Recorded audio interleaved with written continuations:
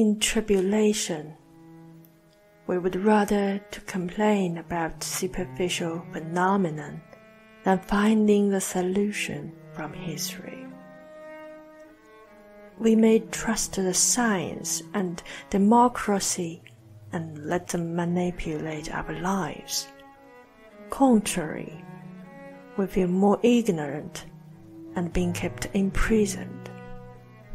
Powerlessness is covering us. On 14th December 2020, we welcomed a total solar eclipse during this COVID. When the sun lost its shine, we felt hope is far away from us. We experienced a hard year 2020. However, should we deserve continuing tragedy in 2021? Are we really now in the darkness? If looking outside is useless, do we need to calm down and look inside? Maybe the answer is in our memory like solving the mathematical problems. We abandon emotion, you know, human error for temporarily, to see the truth.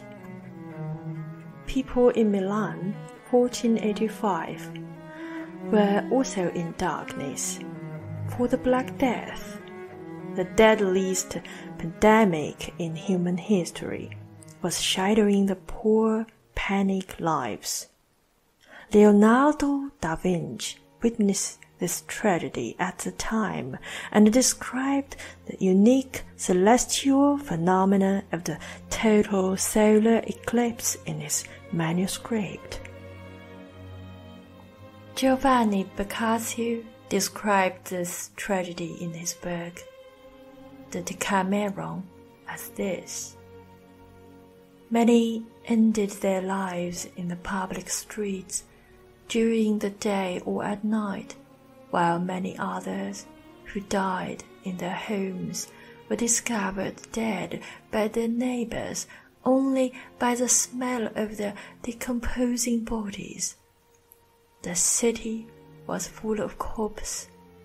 Moreover, the dead were honored with no tears or candles or funeral mourners.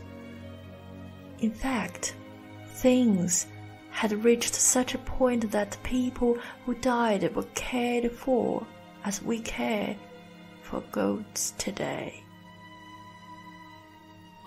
So many cops would arrive in front of the church every day, and at every hour that the amount of holy ground for burials were certainly insufficient for the ancient customs of giving each body its individual place. When all the graves were full, huge trenches were dug in all of the cemeteries of the churches, and into them the new arrivals were dumped by the hundreds, and they were packed in these with dirt, one on top of another, like a ship's cargo, until the trench was filled. After Venice and Pisa being taken by this horrible plague, Florence implemented strictly regulations to avoid the spreading of Black Death. For instance, each citizen had to be notified. Crews had to be put in quarantine for 40 days. Ferries and ships with infected was prohibited to release a crews to land. This quarantine is the earliest and most integral policy to defeat plagues in Europe. Let's review this perfect policy 80% lives in Florence were taken by the plague. Obviously, Florence failed to escape from the disaster. Contrary, it had the highest number of deaths in Italy. It is said that the corruption of clergy and the moral declination of human caused the plague. Catholic Church and popes became to be more like political roles rather than religious roles. At the very beginning of the belief, it was a pure belief, a religion that led the people into a spiritual peace and salvation. As the credit accumulated, the clergy's avarice was also nourished. The clergy's misbehavior violates the vows of purity they have taken. God had never changed, while his messengers betrayed him. They misinterpreted the meaning of Bible for their own good. They created the pardon card to collect the money and misled the faithful people. Consequently, they were the true sabotage to the links between God and human. The immense wealth of church accrued through tithes and lavish gifts only inspired a desire for even greater wealth, which translated as power. An archbishop could, and frequently did, threaten a noble, a town, or even a monastery with excommunication for any reason. Under suffering, people no longer believe in God. And maybe this is a reason why God lost confidence in man. Art is not only an aesthetic pleasure, but also a reflection of the history and the time.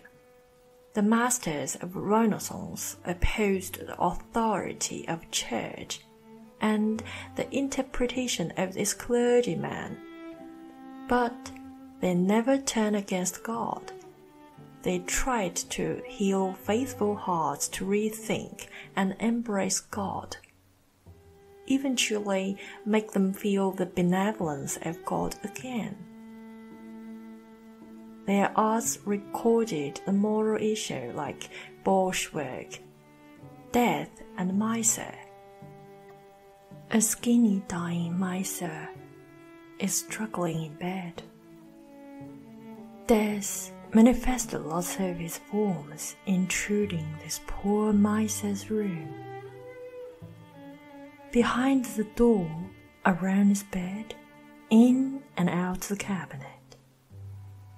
At this last moment of the life, merciful God appeared at the window above. His light shines down upon the miser. A worried angel sits at the nearest position to him and holds him, encouraging him to pray to God for salvation. However, the only thing that he cares is money. He stretches his hands uncontrollably towards a money bag in Death's hands near the bed. He knows that if he fails to resist the temptation of money, he will be taken by death at the door. What a dramatic scenes! Lord never ever abandon the people, while the people choose to turn against the Lord and let him down. Now, COVID 19 undermines everything in our lives the education systems failed to work in right direction. Small and medium enterprises went bankrupt. Social security was challenged. The righteous universal value was abused.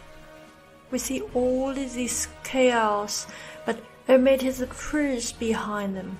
The truth is the COVID 19 is only an excuse for a big scheme. The Great Reset is behind it. This Great Reset carries in its vows to fulfill its desire on the expense of our lives. There will be no more liberty, conscience, or thought in any countries in future. Actually, this great reset had already begun in quite long times ago. One world order is the ultimate goal for the Illuminati. The Illuminati trace their origins back thousands of years to their conception as a result of the genetic inbreeding between the reptilian extraterrestrial race and the humanity. Their modern origin, however, traces back to the 1760s and a man named Adam Weishaupt, who defected from the Catholic Church and organized Illuminati, financed by the international bankers. Since then, according to the Illuminati, their top goal has been to achieve a one world government and to subjugate all religions and governments in the process. The Illuminati thus attributes all wars since the French Revolution as having been fomented by them in the pursuit of their goals. It is Illuminati that kindled the Revolutionary War in order to weaken the British Empire and the French Revolution to destroy the French Empire. Napoleonic Wars were a direct result of Illuminati intervention and were intended to weaken the government of Europe. Since Illuminati created Karl Marx to brainwash the Russia with Communist Party and destroy the royal family, What's more, spread the Communist Party to China in order to make the Chinese government yield. It using the Second World War to set up a Chinese Communist Party government to replace Republic China. It made the population reduction of Chinese people and killed the elites, those having independent thinking. The religion people are tortured and persecuted by Chinese Communist Party. From CCP settling in China until now. Especially Falun Gong practitioners in mainland China had been under enormous persecution. Issues never stand in isolation we need to think, to look inside ourselves. Who is haunting us? Who is saving us?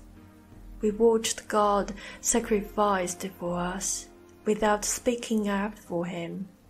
And now we watch those faithful hearts sacrificing for us like Jesus did before.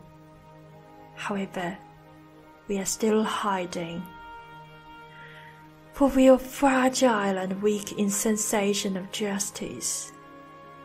So we just watch, watch the devil smuggle children, abuse them, even organ harvest from them.